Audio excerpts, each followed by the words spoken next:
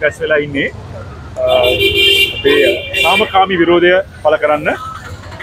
අපි මේක පටන්ගල පටන්ගෙන අදට අවුරුද්දක් වෙනවා.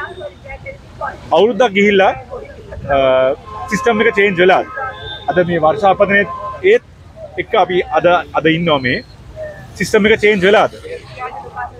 අපි නම් හිතර විදිර සිිස්ටම් එක චේන්ජ් වෙලන්නේ කලින් හිටපු ජනාධිපති ගෝටාබය රටින් පැනලා ඒ වෙනුවට රනිල් වික්‍රමසිංහ ජනාධිපති වනා කියලා සිිස්ටම් එකක් චේන්ජ් වෙලා නෑ රනිල් රනිල් වික්‍රමසිංහ ජනාධිපති හැට පත් වනේ ඒ පොහොට්ටුවේම හොර එකසති සතර දෙනෙක්ගේ වැඩි චන්ද වැඩි මනාප චන්දයෙන් තමයි පත් වනේ සිිස්ටම් එකක් නම් වෙනස් වෙලා නෑ සිිස්ටම්යක් වෙනස් වෙලා නං අපි ජනාධිපති පත් වෙලා රට බංකොලොත් වෙලා තියෙන අවස්ථාවක නියෝජ්‍ය අමාත්‍යවරු එවෙලාවෙම හතරිස් එකක් පත් කර දැම්මන් හිතන එක පනාට දැන් ලං කලා ටික ටික වැඩි කරලා. සිිස්ටම් එකක් චේන්ජ් වෙලා නම්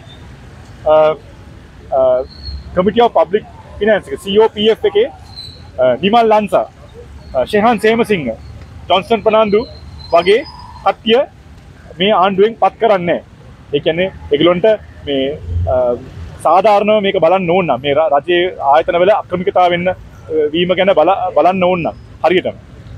සිිස්ටම් එකක් චේන්ජ් වෙලා නෑ මෙතන.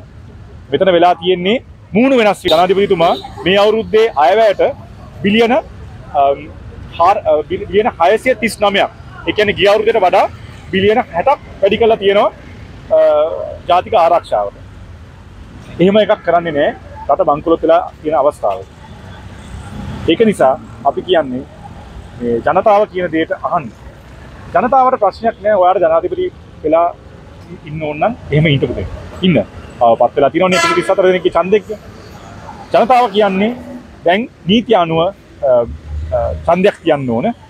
ඒ චන්ද දැන්ටමත් අවුරුද්ධ පරක්කු වෙලා තියෙන්නේ. දැන් සුපීම් කෝට් එක කෝට් එකකුත් කියලා තියෙන අධිකරණයකුත් කියලා තියෙන්නේ මේ චන්ද තියන්න කියලා. ළඟදිත් අපි දැක්ක ඒ ඒ ඒ නියෝගය ආවට පස්සෙත් ශයන් සේමසිංහ අමාත්‍යවරයා පාලිමෙන්තුවේ ඉනම් කියනවා ඒකත් හැල්ලුවට ලක් කරන්න දනවා ඒකත් ඒකත් නොතියන විදියට කතා කරනවා. ඒක නිසා මේ වගේ වැඩ කරන්න එපා. ඔගොලොන් ඇත්තට ගොලොන් ඇවිල කතා කල කියනවනේ අපට චන්දර බයවන දෙයක්න අපි වැඩ කල තියෙන අපට ගම්බට කරන්න පුළුවන්. අපි තමයි වැඩ කල තියෙන්නේ. එහෙම කල්ල තියෙනවනම් ලොක උජාට කතා කරනවනේ දැන් ඩොලර එකත් මේ ඩොලර එකත් සාපේක්ෂව රුපියල මේ ප්‍රමාණය හොඳයි කියලා. දැන් දැන් දැන් සංචාරක රට එනවා කියලා? දැන් රටේ තත්ත්වය හොඳයි කියලා? ඉතින් එහෙනම් ඒ බය ඡන්දයක් තියන්න? ඡන්දයක් තියන්න. මිනිස්සුන් ඒක තමයි ඉල්ලන්නේ. ඡන්දයක් තියලා තියලා මිනිස්සුන්ගේ මිනිස්සුන්ට මිනිස්සුන්ගේ ඇත්ත තත්ත්වය බලාගත්තුටින් හොඳයි කියලා තමයි අපි කියන්නේ. කොමිස්සුව sorry right. Sorry? Today is one year. This is it's one year since we've been at Liberty. So this is homemade cake for all all those who are here.